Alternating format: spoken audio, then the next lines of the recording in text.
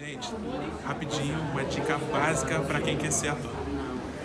Eu acho que é você perceber se você gosta quando você vai para a cena, se aquilo te faz forte.